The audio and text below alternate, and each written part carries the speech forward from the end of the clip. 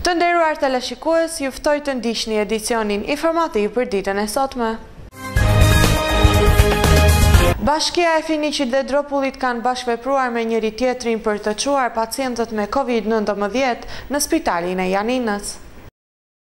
Kryetarët e bashkive të banuara nga minoritarë grekë të Finiqit dhe Dropullit janë takuar për të diskutuar rreth masave që duhen marrë për të lehtësuar pacientët e prekur seriozisht nga koronavirusi në transportin e tyre nga zona e bashkive Finiq dhe Dropull në spitalin e Janinës. Dy kryetarët e bashkive, Dhimitër Toli dhe Kristo Kiço, emëruan bashkarisht Eleni Papa si përgjegjëse për përgatitjen e regjistrave mjekësorë dhe procedurave përkatëse të pacientëve që do të trajtohen në spitalin e Janinës. Çerdhja publike Cicërimat e mbyllur për shkak të rasteve pozitive me Covid nëntëmbëdhjetë të edukatoreve ka hapur përsëri dyert për të pritur vogëlushët.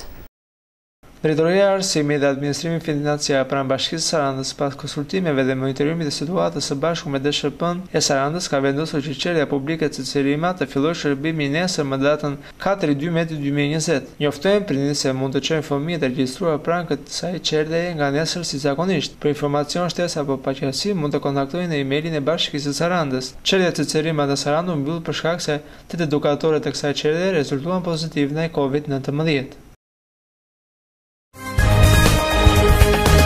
Le të ndjekim informacionet më të fundit lidhur me Covid nëntëmbëdhjetë në vendin tonë.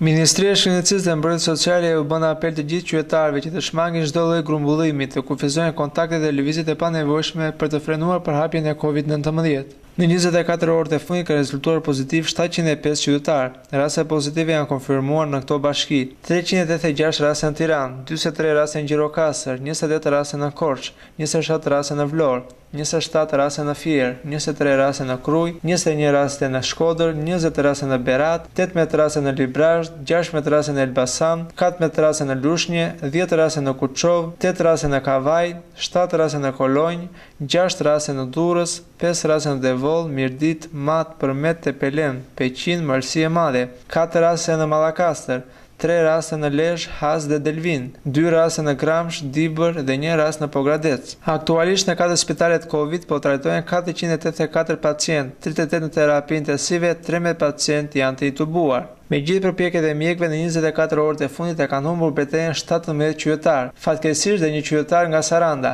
Ministria e Shëndetësisë dhe Mbrojtjes Sociale shpreh ngushëllime familjarëve të të ndjerëve. Saranda sot nuk ka asnjë person të konfirmuar ndaj Covid nëntëmbëdhjetë. Urgjenca kombëtare njëzet e katër orë në shërbim. Telefononi në numrin njëqind e njëzet e shtatë nëse dyshoni se jeni të prekur ndaj Covid nëntëmbëdhjetë dhe për çdo urgjencë mjekësore.